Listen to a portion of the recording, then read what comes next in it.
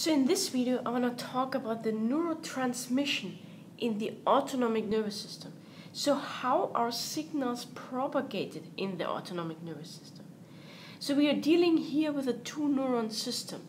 We're always going to have a preganglionic neuron that is releasing a neurotransmitter onto a postganglionic neuron.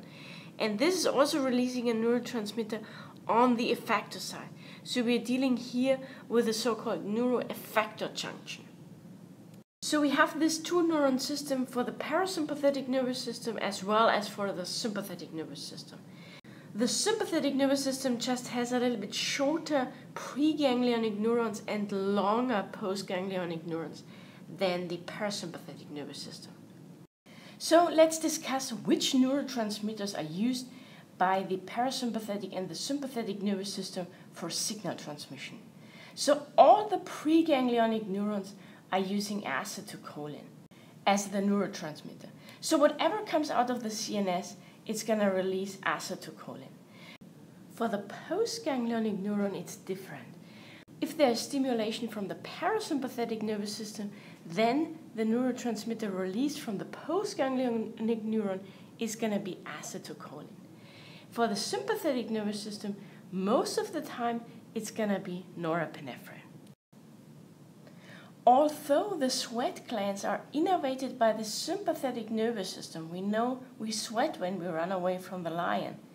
The neurotransmitter that is released onto the sweat gland is acetylcholine, and we call this sympathetic cholinergic innervation because the sweat glands are innervated by the sympathetic nervous system but use acetylcholine as a neurotransmitter.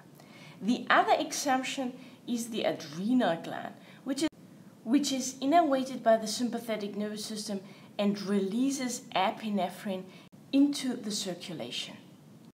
So lastly, let's just sneak in here the somatic nervous system. The somatic nervous system has nothing to do with the autonomic nervous system. However, it also uses acetylcholine as a neurotransmitter.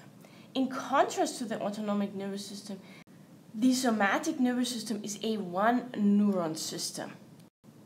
Once acetylcholine is released onto the skeletal muscle, that results in a contraction of muscle fibers.